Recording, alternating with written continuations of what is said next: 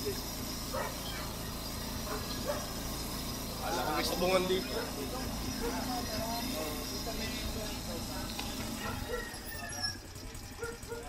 Hindi mo nagawa ko. Meron pa akong merita.